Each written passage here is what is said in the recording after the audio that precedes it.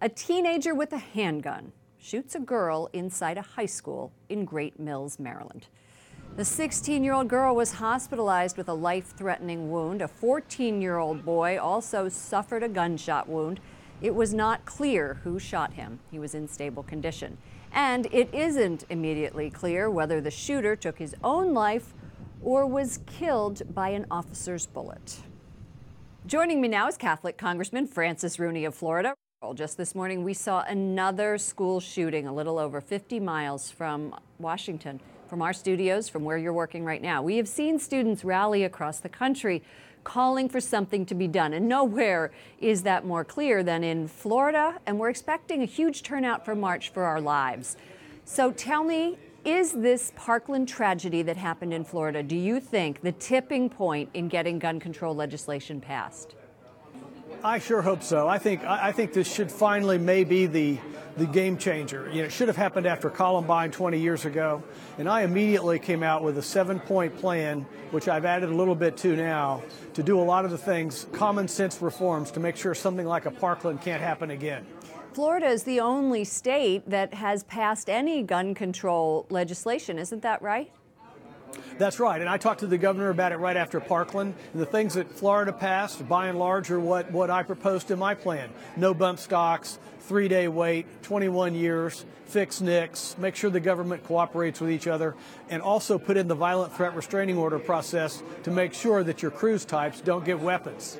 So, why is the House only passing security measures? You know, here is a very strange place. I worry about the influence of the NRA here. I worry about people being willing to stick their neck out like I did. I don't think very many people have.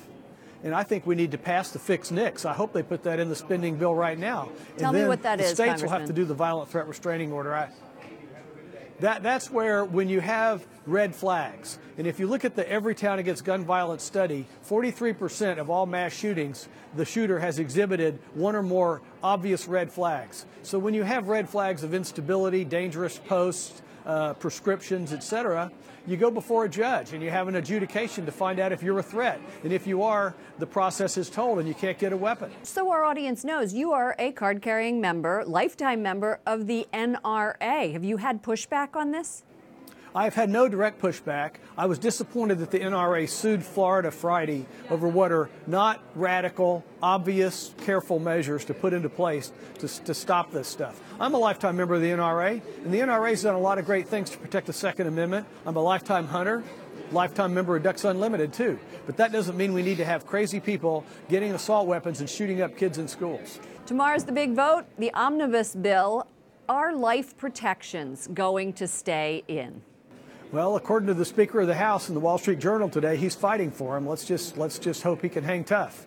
You know, there's a lot of sausage making going on today uh, between DACA versus security measures, DACA versus wall, uh, medical funding versus the life protections in the conscience bill. Uh, I don't know how it's going to work out. I'm going to be watching vigilantly, though, and sure uh, arguing that we need to, to do the things that we promised our voters and we promised our conscience that we would support. All right, Congressman Francis Rooney of Florida, thank you for joining us.